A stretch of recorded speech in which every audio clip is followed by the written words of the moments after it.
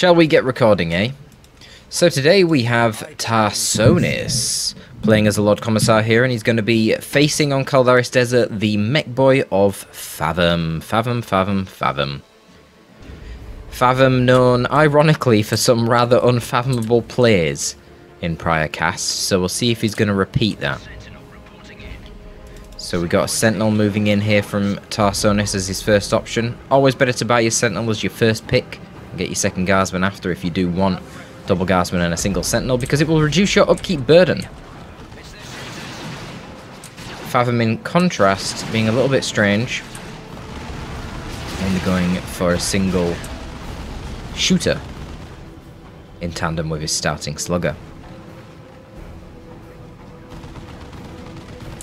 Risky, to be honest, given a Lord Commissar. Lord Commissar plus a Sentinel can put a lot of pressure on. Right now, the Sentinel's really not doing a whole lot. It's incurred a lot of damage, and yes, it doesn't bleed, but the thing is, you've got to spend time now repairing it with your Guardsmen.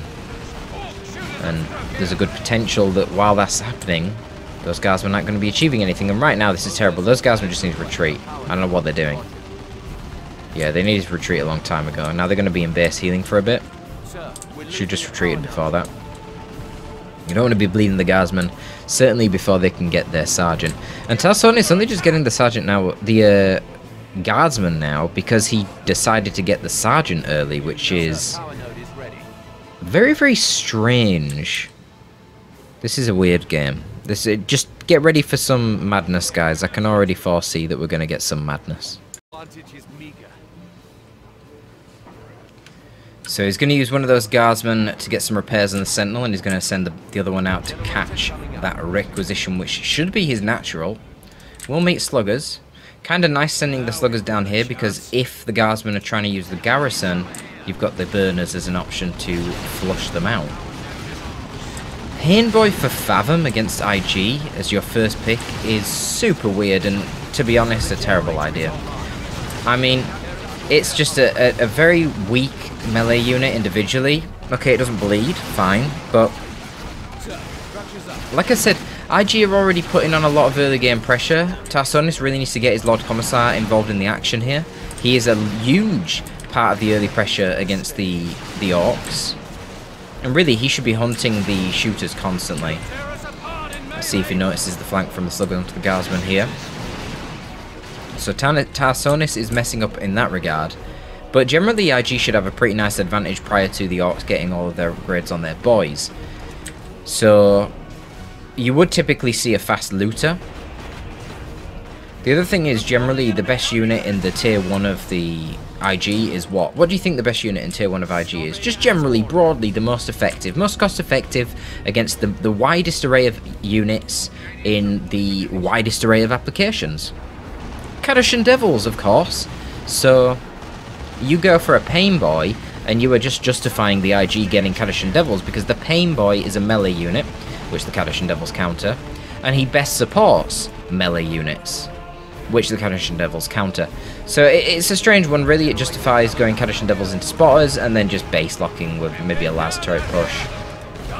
Just winning the game in tier 1. But Tarsonis is a little bit torpid. If you didn't know, torpid generally means lethargic and slow. It's kind of like torpor. Someone who is suffering from torpor could be described as being torpid. Tarsonis needs to to get a grip, get a little bit more aggressive. See, he's getting the spotters now because he sees the looters, but it's a bit delayed, and he's had this sentinel running around for ages, messing around, getting shot at by shooters. Now we've got a War, so yeah, they are riled up, these green skins. They're getting that speed boost and that damage boost. And of course, you've got the mech boy who can teleport after you. Only 50% far on the move, so nothing too huge here. Getting some repairs down. At least he's got the Commissar here for the fight now, which is helpful. And yeah, with the spotters on the field, the looters don't really have much to do here. They can try setting up and bait out a, a shell, but the Commissar's just going to get into melee again. Tarsonis just a little bit slow in his micro. But he gets the combination down, and then the shooters are just bleeding. Now the sluggers are just hanging around for no reason. They really don't want to be going to melee with the commissar here. They're just going to bleed. They're not going to win the fight with the supporting fire of spotters and sentinel. Yeah, they should just retreat instantly. Only lost a single slugger, so not a huge loss there for Fathom. But it is something. If we look at Tarsonis, they've had their full three gens for a long time. Fathom only built the third gen a little bit sooner, so they're quite significantly behind in terms of power. I mean, their expenditure... Yeah, their expenditure is really high as well. You've got fully upgraded shooters here, which are 45, 50, or is it even 20 uh, power for the burners? 15 or 20, 30 for the painboy, 30 for the looters, 25 for the, the big shooter. I mean, this contrasts with 15 for stomp and 30 for spotters. Quite a significant difference there. Though, you would have expected gens up earlier for Fathom because of the fact that he only led with two requisition units at the start of the game. So perhaps not as bad as it sounds with the power differential there because Fathom's income should have been a bit higher. But then again, Fathom got his final gen up there, so I don't know. Anyway, he's putting on a lot of pressure here with his Dakka Dakka Dakka and his fully upgraded shooter boys, nearly taking out the Sentinel there. This is what the looters are meant to be doing though, they're meant to counter the Commissar when he inevitably runs in to tie up the shooters. But then that's what the spotters are for, right? However, yeah, Slugger's also intervening now. The, the, the uh, Lord Commissar's in a bit of trouble there, needs to get out of there. And the Painboy's managed to get into melee with the Guardsman. Painboy running around solo like this is, is just really inefficient. His DPS output is very low compared to having something like another Slugger Boy squad, and then you'd have two units which can roam both sides, dealing with garrisons, which you can see the guardsmen are conveniently using in the corner here, but also threatening gen bashes. It's quite easy if your opponent only has one flamer unit, to mentally keep track of its location at all times, and ensure that they don't sneak around the back and actually bash you gens. If there's two though, that can be a lot harder. Just something to consider there. Tarsonis is already tier 2 and he's going to be going for the Ogryn squad. That's a bit of an odd choice. Clearly doesn't realise how far ahead he is in tech. I guess that's somewhat understandable given that he didn't actually get any gen bashes off. But against Orks I would not be going for the Ogryns. It's strange. Ogryns are very, very resilient against shooter boys because shooter boys only do piercing and Ogryns are super heavy infantry, which takes really negligible amounts of damage from piercing. But the problem is the real threat in tier 2 for the Orks isn't anymore the shooters. They don't actually get any stronger in tier 2 than the state that they're currently in in tier 1, other than levels. But the Slugger Boys, when they get their knob, especially with upgraded Git from the Pain Boy, could be very fearsome. And that actually could go toe-to-toe -to -toe with the Sluggers quite easily. Sorry, could go toe-to-toe with the Ogryns quite easily. Especially if the Ogryns do not save Use Your Head for a melee fight, which is a common mistake that you'll see newer players do. They'll use the use your head ability on the Ogryns to just get a speed boost and to rush into melee with ranged units, but generally that's not the best application for it. You should use it prior to retreat to stop model losses in a melee brawl. If it's a melee fight that you can that's pretty tight, then you use it at the start of the melee fight and it gives you two sources of knockback. It gives you one explosion of knockback as soon as you use it, and then about two or three seconds into it, it does another like burst. There's there's a little animation. You see like a little white sort of wave come come off underneath the Ogryns. It does another knockback, and that double knockback guaranteed in a melee fight is pretty huge because it's basically loads of time where the enemy isn't doing any damage, but you're doing loads of damage to him. So those are the two applications you should use it, or to hunt down vehicles because you're heavy melee, especially if you snared the vehicle with a melter, stormtrooper melter bomb, or a las cannon. But we don't see that often, and uh, that will mean it's wasted and it isn't present for then a brawl against Slugger Boys with a knob, and that would be a very bad situation. But we actually see double looters here. Kind of interesting. They'll be okay against the Ogryns. Obviously the piercing damage, especially from distance, won't do a tremendous amount, but at least it will control them, and it will do some damage up close. Now, the knob isn't actually here yet, so this is probably a bad fight. You're actually seeing the secondary activation of the knockback there. Ogryn's focusing on the uh, Pain Boy right now.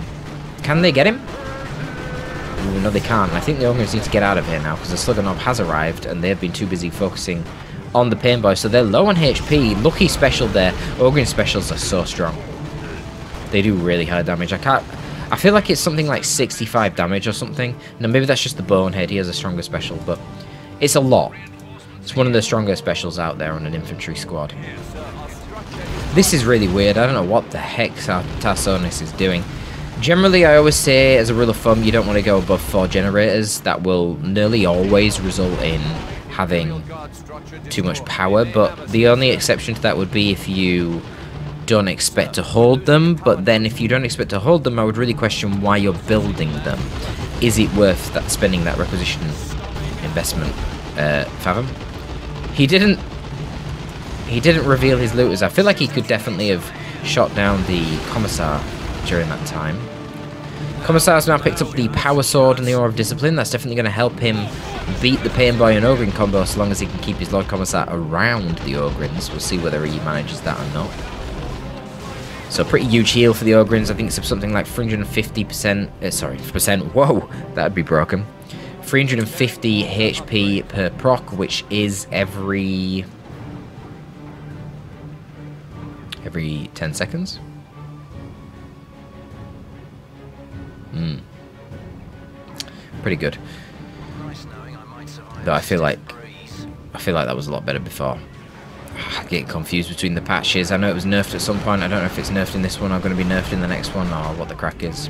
But it's still no doubt going to be very effective with the Ogryns. But you see, Tarsonis isn't doing that.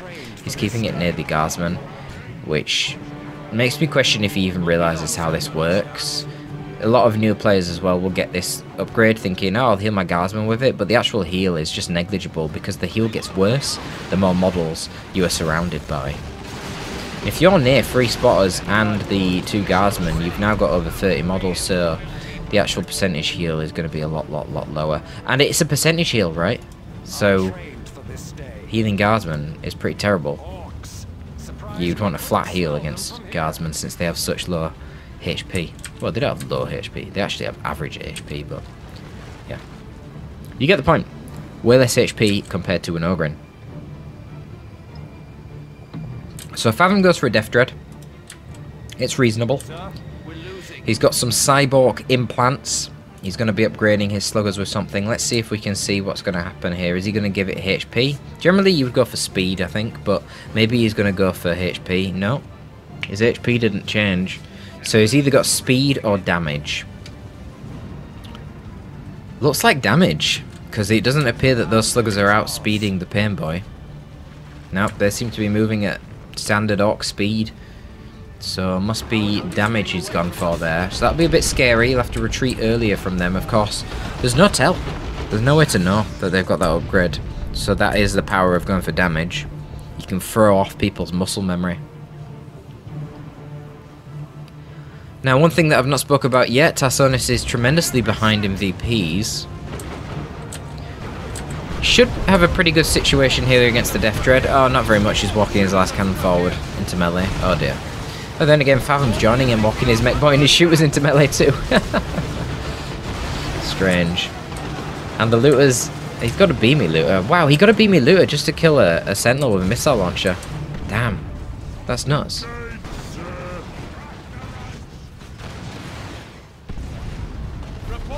Let's see how this brawl goes. Ogryn's taking a lot of damage here from the Slugger Knob and the Death Dread, but the Death Dread wants to flee. Wow, all of the Sluggers killed. Versus only the Bonehead dying on the Ogryns. Hilarious.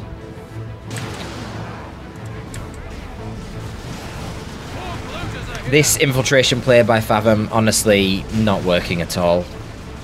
I feel like it's hurting him more than anything. There's been several instances where his looters really should have been firing, and it feels like he's just forgot to uninfiltrate them, or maybe he thought he was making a sneaky play, but it's really not pulled off.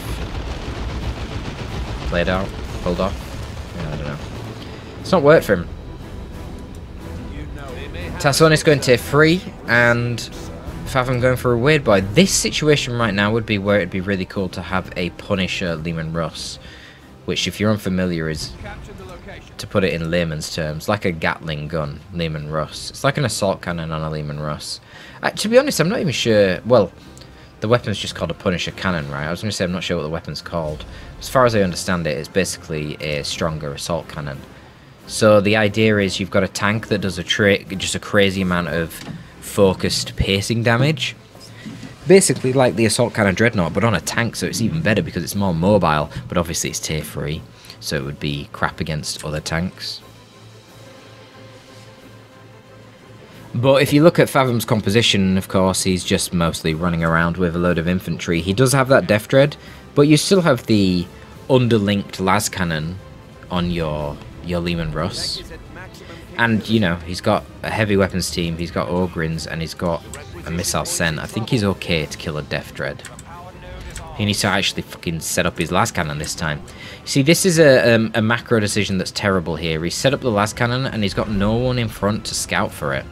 So by the time... So you can see the Death Dread's in range right now, but he can't see it.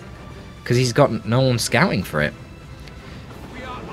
And, and also, it's just so vulnerable. It's not even in proper cover should be in cover there, but you need units in front to scout and to protect it from just being attacked. What? He goes tier 3 and drops a bunker. I guess he's going for a medical bunker. Oh man, this micro is crazy. He's running into melee. He's got frag missiles loaded. He really needs the crack missiles in. So there we go. We got the what's it called? Lead by example. But wow, a lot of damage coming into the Lord Commissar. He's got to get out of there. Really needs an armor upgrade, to be honest. He's not that durable right now.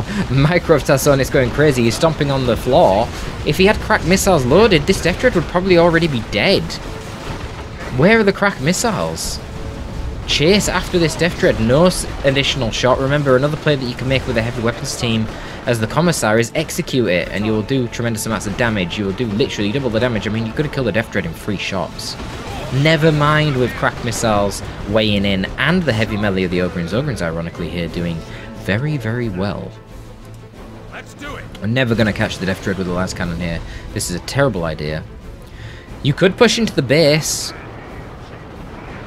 but he's not gonna. That's fair enough. So Ogryns right now tanking beautifully. Really could do with that Aura of Discipline nearby. Okay, they need to retreat now because they're going to bleed another model. If that weird boy hits him again, it's going to be really painful. Retreat, man! Ugh. Lucky it only got one of them. Oh, that was the Bonehead again! Oh my god. Keeps killing the damn Bonehead. But they are doing well. I don't know why he went tier 3 and dropped the bunker. That's really quite crazy. Foot of Gork? Oh, great Foot of Gork. Kind of wasted. Foot of Gork generally always will not kill things because a competent opponent will just retreat out of it. But the point is that it forces retreats because if they don't, they get wrecked. You can also use it to one-shot the bunker, I believe. So that would have been a better play. But, you know, you suppress the enemy double guardsmen with your looters so they can't manually dodge, and then you foot of Gork and it forces a retreat on both of them. Obviously, if they've got commissars, though, they can then just execute and come back in. I've actually got Bullgryns, wow. Bullgryns are interesting. They are, if they can get levels, a straight upgrade against Ogryns, but by default they're not. They're actually worse against melee due to the lack of use your head. So they have more HP than default Ogryns, and you can see they're immune to basic knockback as well.